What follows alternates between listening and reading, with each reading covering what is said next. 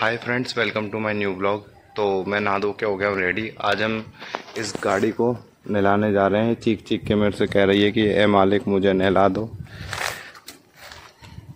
बहुत ज़्यादा गंदी हुई पड़ी है तो इसे भी नहला के आते हैं। देखो, ये लिखा हुआ।